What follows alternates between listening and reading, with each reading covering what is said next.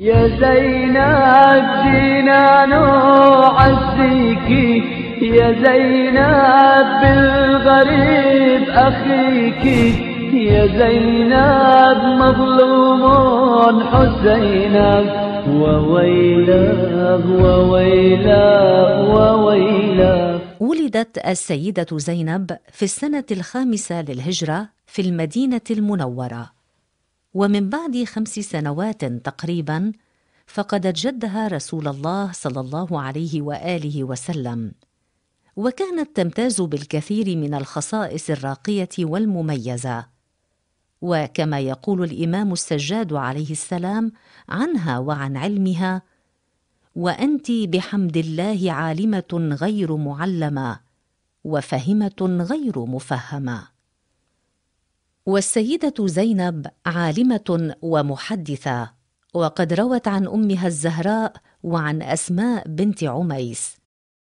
واقترنت السيدة زينب بابن عمها عبد الله بن جعفر وخلفت وراءها خمسة أولاد هم علي عون عباس محمد وأم كلثوم. وقد رافقت السيدة زينب أخاها الإمام الحسين عليه السلام منذ انطلاقة حركته من المدينة والتحق بهم ولدها عون في منزل وادي العقيق ومن ثم استشهد في كربلاء. وبعد الملحمة العاشورائية واستشهاد الإمام الحسين عليه السلام تولت السيدة زينب قيادة القافلة. وفي الواقع فإنه قد عهد إليها قيادة القافلة بالنيابة من قبل أخيها الإمام أبي عبد الله والإمام السجاد عليهما السلام. وأدت السيدة زينب بشكل رائع خطاب العزة والانتصار للنهضة الحسينية خلال فترة الأسر. إذ إنها عندما أحضرت إلى مجلس ابن زياد في الكوفة جلست في ناحية من القصر وغضب ابن مرجان لعدم الاكتراث به فقال من هذه التي انحازت ناحية ومعها نساؤها؟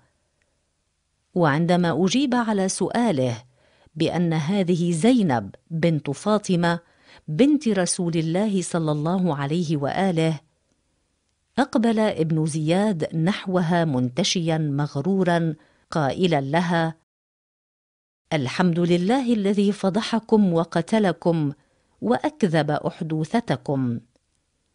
فقالت زينب عليها السلام في ردها على جرأة ابن زياد وتصلفه الحمد لله الذي أكرمنا بنبيه محمد صلى الله عليه وآله وسلم وطهرنا من الرجس تطهيرا. وإنما يفتضح الفاسق ويكذب الفاجر وهو غيرنا والحمد لله. وأما كلامها في الشام وفي مجلس يزيد فقد كان بليغا وثوريا فقد وقفت أمامه تخاطبه قائلة فوالله يا يزيد ما فريت إلا جلدك وما حززت إلا لحمك.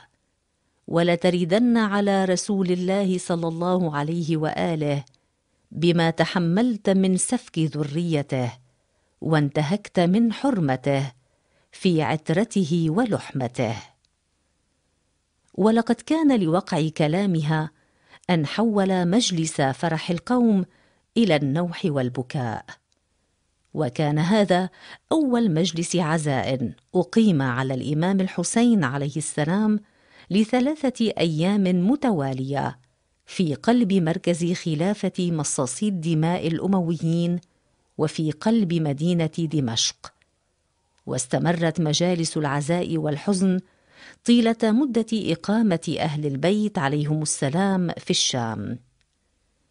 وعندما رجع ركب السبايا إلى المدينة المنورة واصلت السيدة زينب الكبرى دورها. تحدث الناس وتستنهضهم طلب الثأر بدم الإمام الحسين عليه السلام.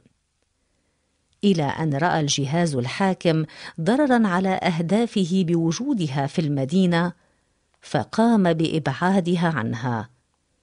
وتوفيت عليها السلام في النصف من شهر رجب سنة 62 أو 63 للهجرة.